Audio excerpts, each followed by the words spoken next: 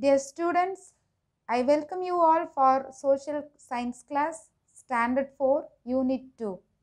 The topic is 5 landforms. Landforms are the natural features of the surface on the earth.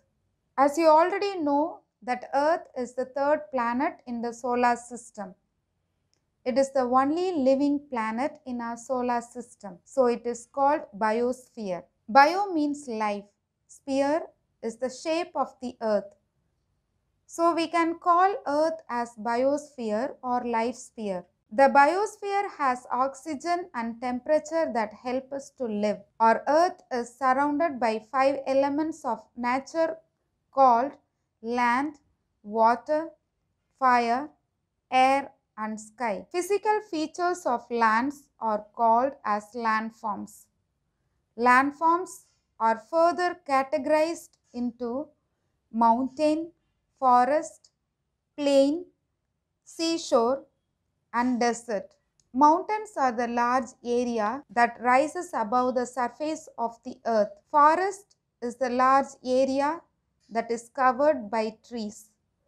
Flat, vast land is used for agriculture is called plain. Seashore is the salty water bodies that covers the large surface of the earth. The region with less or without rainfall is called as dry land or desert. Landforms of Tamil Nadu.